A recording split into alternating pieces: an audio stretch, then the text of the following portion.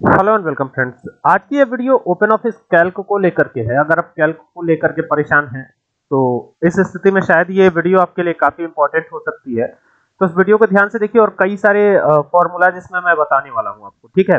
जैसे कि आप जानते हैं थंबनेल पे भी आपने देख ही लिया होगा कि कितने प्रकार के फॉर्मूला जिसमें मैं आपको बताने वाला हूँ।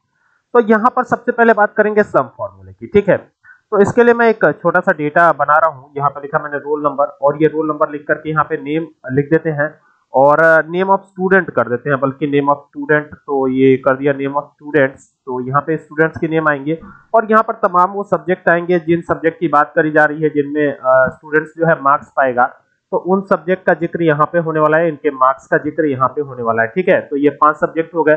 और पाँच सब्जेक्ट होने के बाद इसमें जो है टोटल और तमाम जो फॉर्मूलाज हैं, जिसके बारे में हम लोग थंबनेल पे देख चुके हैं, आपने देखा होगा थंबनेल पे क्या क्या फॉर्मूलाज हैं। तो टोटल होगा टोटल के बाद फिर आपका मिनिमम होगा, फिर मैक्सिमम होगा, लेकिन इसके भी पहले होगा एवरेज और एवरेज के बाद होगा आपका मिनिमम फिर मैक्सिमम फिर ग्रेड ठीक है? फिर परसेंटेज ये तमाम चीज़ें आप देखने वाले हैं सिंगल एक वीडियो में, ठीक है? तो अभी क्या करना है? इसके बाद हम इसमें काउंटिव भी देखेंगे तो अभी पहले बात करते हैं यहाँ पर। ये रोल नंबर की बात कर लेते हैं। तो ये वन हो गया, ये एंटर करके नीचे आएँगे तो ये टू हो जाएगा और इन दोनों को ड्रैग करके, यहाँ से दोनों को सेलेक्ट करके नीचे ड्रैग करेंगे तो जितने भी स्टूडेंट्स के मार्क्स यहाँ पे आने चाहिए, वो सब आ जाएँगे, कोई दिक्कत नहीं है। इसके अलावा वी लुकअप एच लुकअप भी देखने वाले हैं इस वीडियो में तो बहुत ध्यान से समझिएगा इसको, ठीक है? तो यहाँ पर एक स्टूडेंट का नाम लिखा, ये हो गया, ठीक है? दूसरे स्टूडेंट का नाम मैंने लिखा, ये हो गया और तीसरे स्टूडेंट का नाम मैंने लिखा ये हो गया। चौथे स्टूडेंट का नाम मैंने लिखा ये हो गया। पाँचवें स्टूडेंट का नाम लिखा ये हो गया। ये हो गया पाँचवें स्टूडेंट का नाम। एंटर किया। यहाँ पे एक और स्टूडेंट का नाम आ गया। एक और स्टूडेंट का नाम आया। तो ऐसे करके हम दस ग्यारह जितने भी स्टूडेंट के नाम है वो सारे इंसर्ट करा लेंगे। ठीक है? ये हो गया। आ, ये हो गया।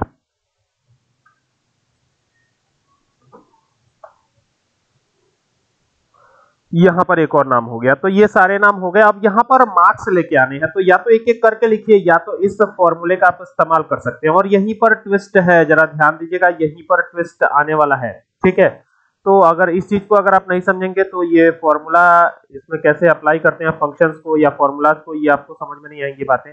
तो यहाँ पर आपको क्या करना है? सबसे छोटा वाला नंबर देना है। तो सबसे छोटा वाला नंबर चार, फिर कॉमा लगा के सबसे बड़ा वाला नंबर देना है, फिर बंद करके एंटर करना है। तो जैसे एंटर करते हैं तो यहाँ पे आपको एरर दिखाई देता है, जबकि आपको ये पता है कि ये भी स्प्रेडशीट है तो इसमें भी सेम ही होना चाहिए। लेकिन देखिए, ये चार और नब्बे के बीच में कॉमा सपोर्ट नहीं करता है तो आपको सेमी कॉलन लगाना है तब एंटर करना है तो देखिए तब ये आ जाएगा। और ये आ जाएगा तो फिर यहाँ से ड्रैग करा के यहाँ तक आइए। फिर इसको सेलेक्ट कीजिए इस तरीके से, और सेलेक्ट करके फिर यहाँ से ड्रैग करा के नीचे तक आइए। जैसे ही नीचे तक आएँगे तो यहाँ पर ये सारे नंबर आ जाएँगे, लेकिन ये डायनामिकली चेंज होते रहेंगे। तो इसके लिए हमें इसे कॉपी करके देन यहाँ से पेस्ट स्पेशल पे जाके और देन यहाँ पर जो है इसे नंबर बना देना है। तो ये नंबर बना दिया हमने और यहाँ से यस कर दिया। और यस करने के बाद अब यहाँ पर क्या करना है? टोटल करना है। तो इक्वल टू का निशान लगा करके सम का फॉर्मूला लगा करके टोटल करेंगे। एक खासियत और है यहाँ पे टैब काम नहीं करेगा तो आपको ब्रैकेट ओपन करना होगा मैनुअल तरीके से और यहाँ से इसको ड्रैग करवा लीजिएगा। मतलब इतने को सेलेक्ट कर लीजिएगा। तो C2 से लेकर G2 तक ये एड्रेस आ गया इसको बंद करके एंटर करिए यहाँ पर टोटल आ जाएगा। अब इसी के बेस पे हम एवरेज भी कैलकुलेट कर रहे हैं। तो यहाँ पे ए भी E R A G E average calculate करके दिखाता हूँ आपको। एवरेज में क्या करना है आपको? जितना है, उतना सेलेक्ट कर लीजिए। यानी सारे सब्जेक्ट को सेलेक्ट करके ब्रैकेट को क्लोज करिए। आप देखिए सी टू से लेकर जी टू आ गया। आप एंटर करिएगा तो एवरेज आ जाएगा। तो इनका एवरेज मार्क्स यहाँ पे शो हो रहा है। देख ही सकते हैं आप। अब मिनिमम मार्क्स किसमें रहे? तो उसके लिए मिन फॉर्मूला आप लगा सकते हैं चाहे तो। तो एम आई एन करिए ब्रैकेट को ओपन करिए और ब्रैकेट को ओपन करके यहाँ से चलिए और इस तरीके से इसे सेलेक्ट करके बंद करके एंटर कर दीजिए। तो ये मिनिमम मार्क्स आ गए। डबल क्लिक करिएगा इस सबका आ जाएगा। फिर मैक्सिमम मार्क्स के लिए एम एक्स करिए, ब्रैकेट को ओपन कीजिए और यहाँ से ड्रैग करते हुए चले जाइए ताकि आप सारे सब्जेक्ट को सेलेक्ट करें और एंटर करें तो यहाँ पर आपका मैक्सिमम मार्क्स भी इसमें दिखाई पड़ने लगेगा। अब बात कर लेते हैं ग्रेड की तो grade is equal to if formula लगाएँगे ग्रेड के लिए, ये इफ़ लगा दिया। और हम एवरेज के ही बेस पे बार बार ग्रेड को कैलकुलेट करेंगे। तो is greater than equal to 85 करते हैं। 85 होने पर कौन सा ग्रेड आएगा? तो यहाँ पर ए प्लस प्लस कर देते हैं, या ए प्लस कर देते हैं ए प्लस ग्रेड ठीक है? फिर यहाँ पर कॉमा आपको बिल्कुल नहीं देना, ये चीज़ ध्यान रखिएगा। जैसे यहाँ पर हमने कॉमा दिया है ना तो ये कॉमा एक्सेप्टेबल नहीं है। तो आपको सेमिकोलन ही देना है हर बार, ठीक है? ये चीज़ ध्यान रखिएगा, हर बार सेमिकोलन ही आपको लगाना होगा। तो ये अब सेमीकोलन दे दीजिए और सेमीकोलन दे करके फिर इफ़ लगा दीजिए, ठीक है? लगा दिया, और फिर यहाँ पर इसको सेलेक्ट कीजिए। और फिर is greater than equal to अभी हमने किया था 85 अब कर देते हैं 75 75 पे ए ग्रेड रहेगा, ठीक है? तो फिर वही वही चीज़ की कॉमा यहाँ पे एक्सेप्टेबल नहीं है तो अब सेमीकोलन लगा करके और तब डबल कॉमा लगा करके तब ब्रैकेट को ओपन और फिर क्लोज कर लीजिएगा, जो डबल कोट्स है। फिर यहाँ पे सेमीकोलन दे दीजिएगा, फिर यहाँ इफ़ लगाइएगा, फिर पैकेट को ओपन कीजिएगा, फिर वही एवरेज पहला वाला सेलेक्ट करना है is greater than equal to ये हो गया। और अब किसके तो आप 65 कर देंगे और फिर यहाँ सेमीकोलन ही देना है। सेमीकोलन दे करके डबल कॉमा के अंदर अब हो जाएगा ये बी ग्रेड ठीक है? और बी ग्रेड देने के बाद फिर यहाँ पर कॉमा लगाइएगा, यानी कॉमा के बजाय आपको लगाना है सेमीकोलन और फिर यहाँ इफ़ लगाइएगा, ठीक है? इफ़ लगा करके और ये एवरेज को सेलेक्ट करना है is greater than equal to और इस बार हम 55 करेंगे, फिर सेमीकोलन लगाइएगा और ऐसे में कौन सा ग्रेड आएगा? तो ऐसे में ग्रेड आएगा आपका सी ग्रेड ठीक है? और फिर यहाँ सेमीकोलन देकर के इफ़ का फॉर्मूला लगाइए ब्रैकेट को ओपन कीजिए। फिर वही एवरेज को सेलेक्ट करके is greater than equal to इस बार 50 करिए सेमीकोलन लगाइए डबल कॉमा ओपन कीजिए और डबल कॉमा के अंदर आपको लिखना है क्या? डी ग्रेड ठीक है तो ये डी कर दिया और फिर एक बार और आपको लगाना है सेमीकोलन और अन्यथा में failed F A I L E D failed हो गया। तो ये इस तरीके से आपको करना है, ठीक है? देखिए, इसमें कहीं भी कॉमा नहीं दिया गया है और जितने इफ़ ओपन हुए थे, उतने इफ़ क्लोज करके और एंटर करना है। तो यहाँ पे देखिए, ये जो है 50 परसेंट से लेस है, जिनका भी उनका फेल ही आएगा। यहाँ पे रिज़ल्ट देख सकते हैं, इस तरीके से ही आ गया है। ठीक है? अब बात कर लेते हैं थोड़ा सा परसेंटेज के ऊपर, क्योंकि परसेंटेज भी देखना ज़रूरी है। तो एवरेज और परसेंटेज में कोई खास डिफरेंस तो होता नहीं है, दोनों एक ही आता है। लेकिन तरीका अलग अलग है परसेंटेज अगर आपको कैलकुलेट करना है तो आप इस तरीके से जाइए। देखिए, कितने सब्जेक्ट हैं तो पाँच सब्जेक्ट हैं। तो पाँच सब्जेक्ट के लिए सारे जो टोटल टोटल में ही तो छिपा होगा हमारा परसेंटेज तो टोटल को सेलेक्ट किया टोटल का सेलेट्रिस आ गया H two multiply by hundred करेंगे और अपॉन फाइव हंड्रेड कर देंगे, क्योंकि हर सब्जेक्ट हंड्रेड मार्क्स का है तो पाँच सब्जेक्ट मिला के कितने मार्क्स हुए?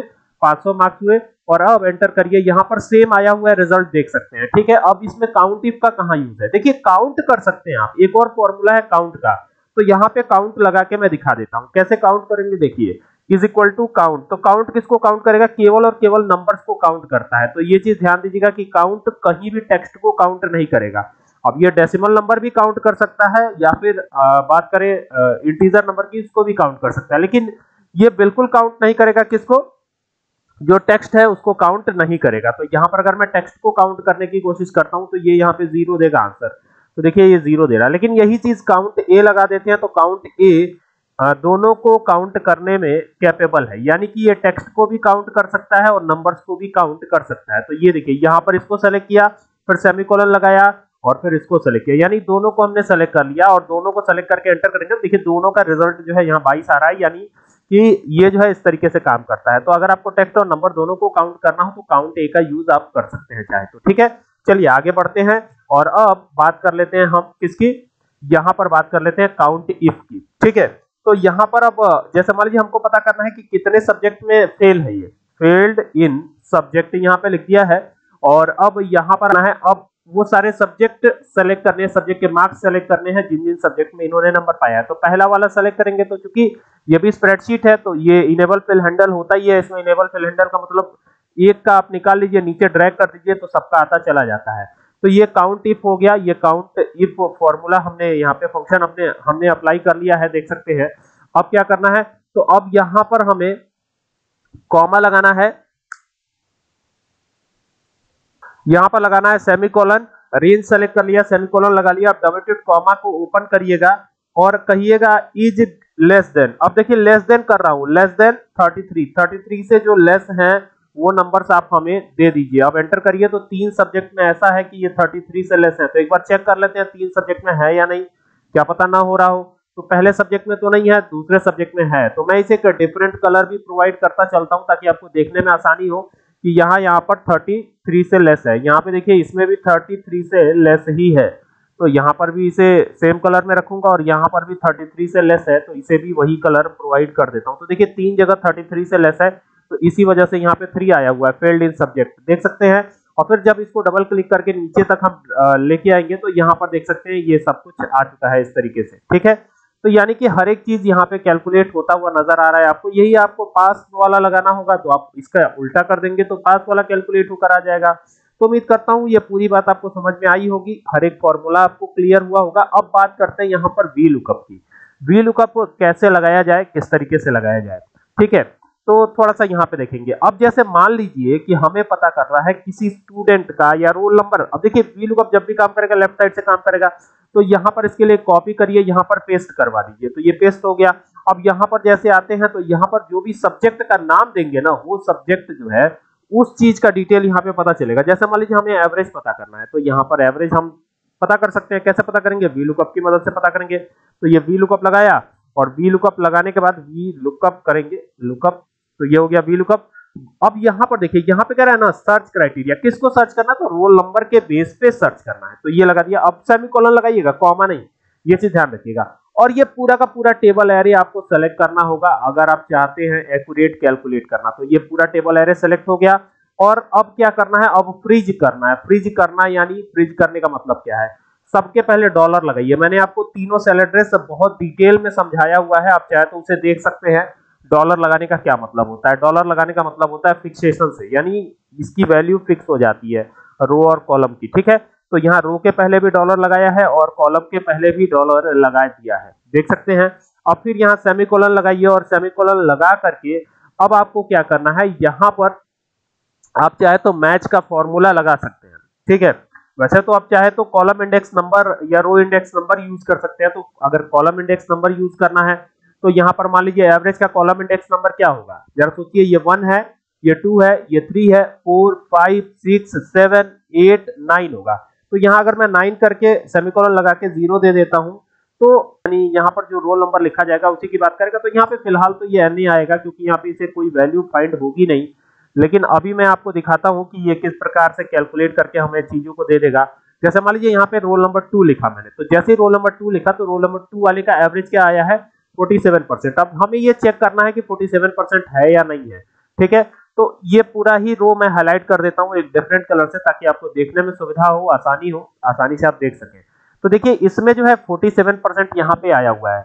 ये देख लीजिए, इसे एक डिफरेंट कलर में कर देता हूँ, ठीक है? तो देखिए 47 परसेंट यहाँ आया हुआ है कि नहीं? लेकिन जैसे ही यहाँ पर मैं चेंज करता हूँ, यहाँ पे रोल नंबर फोर कर देता हूँ तो फोर वाले का कितना आया है? फिफ्टी पॉइंट फोर परसेंट तो ये फोर वाला है, जरा देखिए इसको मैं यहाँ से यहाँ तक पूरा एक कलर में हाईलाइट करता हूँ।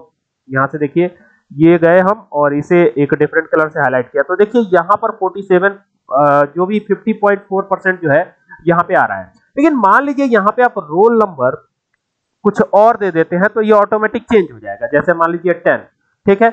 लेकिन समस्या, अब देखिए 43.4 आ गया, लेकिन समस्या वीलुकअप के साथ ये है कि अगर रोल नंबर को हटा करके कुछ और दे देंगे तो ये काम नहीं करेगा। जैसे मान लीजिए यहाँ पर हटा करके अगर आप नेम ऑफ़ स्टूडेंट के बेस पे लेके आना चाहें तो ये काम नहीं करेगा। ये आपको एरर जनरेट करके देगा। तो यहाँ पे देखिए, यहाँ पर जैसे ही ये नेम ऑफ़ स्टूडेंट करते हैं, और यहाँ स्टूडेंट के नेम के बेस पे आप सर्च करना चाहते हैं, जैसे मान लीजिए वर्तिका करते हैं। ये वर्तिका जो लिखा हुआ है, इसको अगर यहाँ लेके आ जाते हैं तो यहाँ तुरंत एन आ जाएगा, क्योंकि ये तो वैल्यू फाइंड ही नहीं कर पाएगा।